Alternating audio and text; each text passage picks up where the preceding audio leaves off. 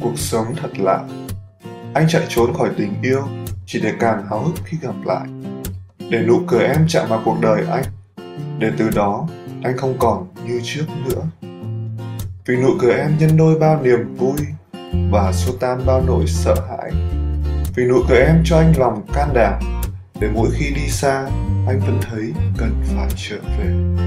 Nụ cười của em là ngọn hải đăng, là ánh sáng trên con đường anh tìm về tổ ấm. Nụ cười của em là điều anh muốn nhìn thấy khi thức giấc mỗi ngày, mỗi giờ, mỗi phút trong đời. Nụ cười của em đem đến cuộc sống và khiến cho cuộc đời càng thêm ý nghĩa. Mỗi nụ cười là điều kỳ diệu. Lipso